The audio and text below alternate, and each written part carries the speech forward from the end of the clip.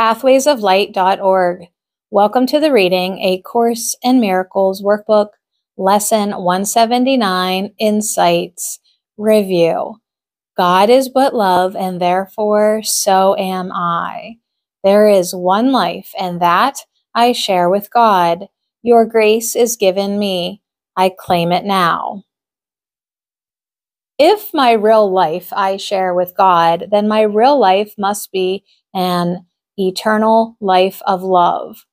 A life of judgment and fear, guilt, and loss cannot be real.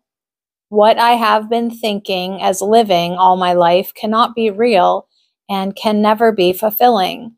I was created as love and given the purpose of extending love. Only fulfilling my purpose can bring me happiness. So, if I want happiness, my only job is to extend love. That is all that ever happens in reality.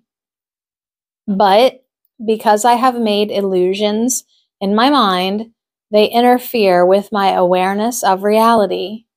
Forgiveness is the means by which I let go of the interference so that I can experience God's life of love that is mine in truth.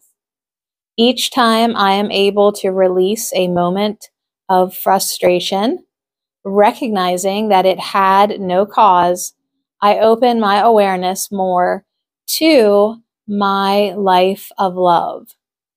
Each time I am able to take a long standing resentment to the Holy Spirit and receive his gift of vision that shows me it had no cause, I move another step closer to full awareness of my life of love. Forgiveness gives me the gift of life.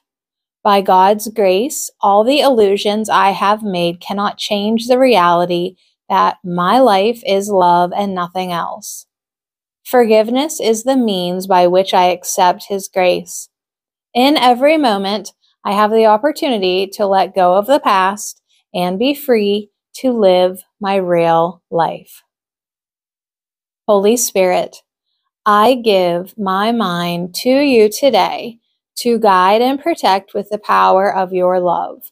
I ask your help to recognize my mistaken ideas that interfere with my awareness of true life.